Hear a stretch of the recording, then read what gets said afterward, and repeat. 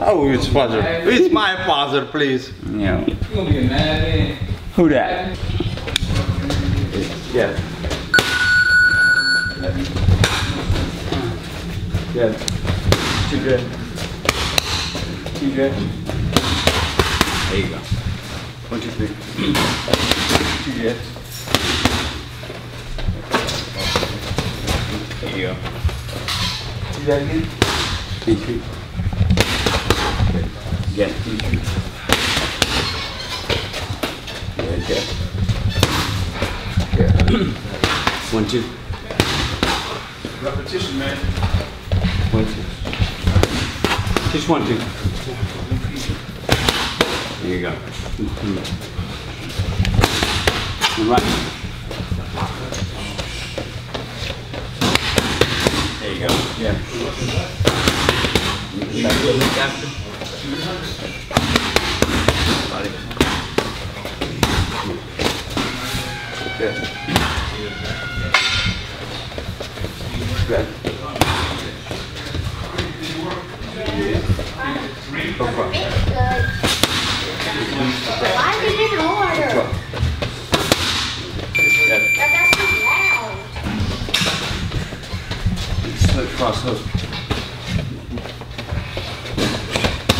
hook. Come back.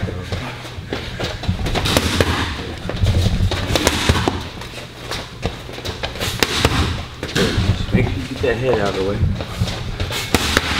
One more. Good. Good. Nice here.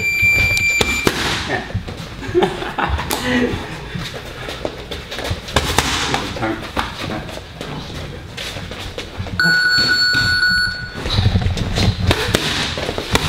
Good. Good. Good.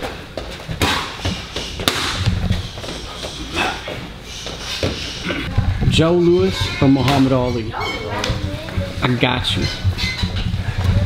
Um, I- well, questions are are they fighting? Are they equal size? Just which fighter means more to you? Oh, more to me? Yeah. Ali. Who who who threw better punches? I mean punches with better technique. Louis. You know who had who had more foot speed and hand speed? Ali. Who do you compare Joe Louis to?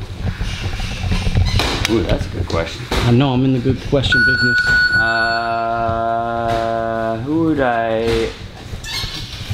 I would uh, compare him to Alexis Arguello. Sort Okay. Of, sort of. But, But like A that, bigger version. fluid. yeah, fluid and just like you know, technical, good technique on his punches. Real nice short punches. Like he could throw good short punches. No one threw better short punches than Joe Louis. Maybe more. Uh. What about Roberto Duran? Yes, but but but not the same. Like Louis, Joe Louis would hit you with like short, like right hand like this, and that was like devastating. You know what? He's a heavyweight. You know what I mean? Now like Duran could throw short punches, and he was mean with it. You know, it was, it was just different. Very different. There you go. Remember, you say we keep that balance and we control, you control the distance. You don't let them get close and, you know. Way. If he tries to get close, you just tuck him with the jab. Boom. Boom.